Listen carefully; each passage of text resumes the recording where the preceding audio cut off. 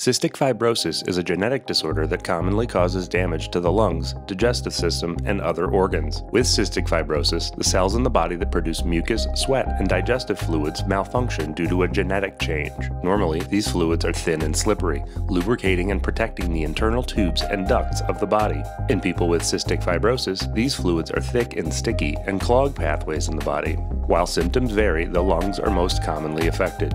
The thick and sticky mucus clogs the ducts that move air in and out of the lungs, leading to symptoms like a persistent cough, wheezing, easily tiring from physical activity, frequent lung infections, irritated, swollen, or stuffy nasal passages, and frequent sinus infections. There is no cure for cystic fibrosis, but treatment can manage symptoms, reduce complications, and offer a more normal quality of life. If you're considering having children, safe and reliable testing is available to determine if a person is a carrier of the cystic fibrosis gene.